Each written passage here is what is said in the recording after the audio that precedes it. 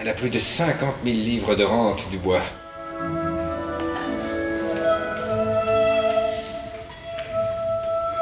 Je connais l'humeur de ma maîtresse, je sais votre mérite, je sais mes talents. Je vous conduis et on vous aimera, toute raisonnable qu'on est.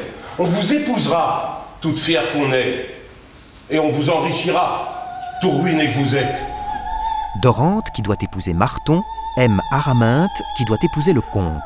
Aidé par son valet du bois, il va tenter de la séduire et changer ainsi l'ordre des mariages. Enfin, mes enfants, je vous fiance. Mais voilà, Araminte est riche et Dorante désargentée.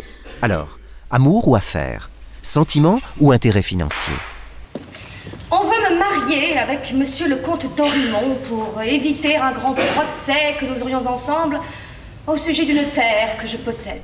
Il y a tout Marivaux dans ce chef-d'œuvre, qui cache sous les élégances d'une société policée une cruauté raffinée. Elle ne sent pas le désagrément qu'il y a de n'être qu'une bourgeoise. Parlons à cet intendant, et s'il ne faut que de l'argent pour le mettre dans nos intérêts, je ne saurais l'épargner. C'est moi qui suis sa mère et qui vous ordonne de la tromper à son avantage, entendez-vous? Et qui est-ce qui a fait cette dépense-là pour vous? Mise en scène par Jean-Louis Tamin et interprétée par une troupe de grands talents, cette production est une véritable réussite.